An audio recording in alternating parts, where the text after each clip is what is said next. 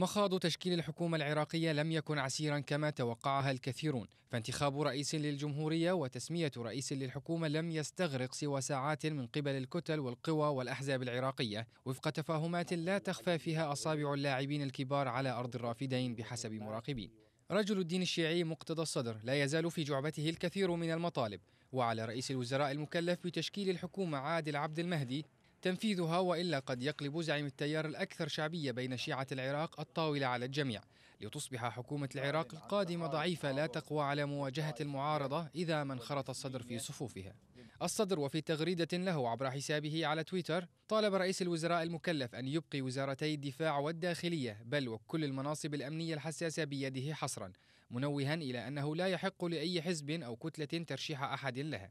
وبشأن الجيش العراقي وشرطته وقواته الأمنية أكد الصدر أنه يجب أن يكون ولاؤها للوطن حصرا.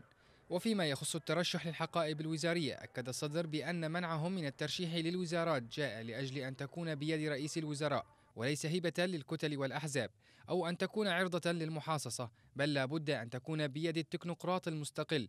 محذرا بأنه سيكون له موقفا آخر إذا ما جرى عكس ذلك في إشارة إلى انخراطه في صفوف المعارضة. وكان الصدر قد تحالف مع قائمة النصر التي يتزعمها رئيس الوزراء العراقي السابق حيدر العبادي والوطنية بقيادة إياد علاوي والحكمة برئاسة عمار الحكيم. ويرى مراقبون أنه جرى توافق كبير بين كتلتي البناء والإصلاح على تسمية السياسي المستقل عادل عبد المهدي لشغل منصب رئاسة الحكومة دون المرور بمرحلة تشكيل الكتلة الأكبر داخل البرلمان الأمر الذي يجعل رئيس الوزراء الجديد ضعيفا في اتخاذ القرارات ما لم تكن هناك كتلة برلمانية كبيرة تسانده في ذلك.